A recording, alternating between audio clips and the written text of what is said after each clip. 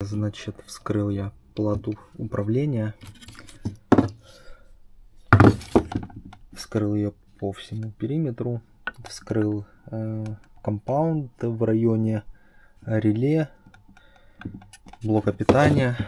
Вот у нас стоит с этой стороны раз реле, два реле. И вот в этой части находится блок питания.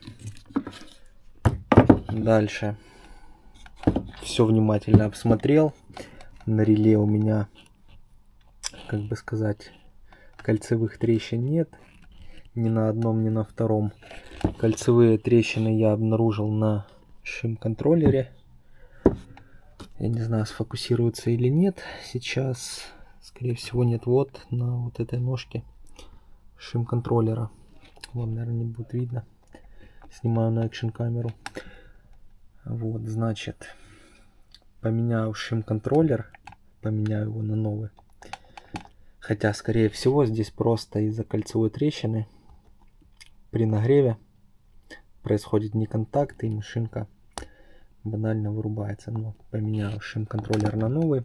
И также у меня есть подозрение на вот эти вот два реле. Коммутируют питание. На них приходит 220. Был такой случай, что когда я включал машинку, одно из реле клацало очень быстро. Поэтому желания ездить несколько раз у меня нет. Я заказал два реле, шим-контроллер.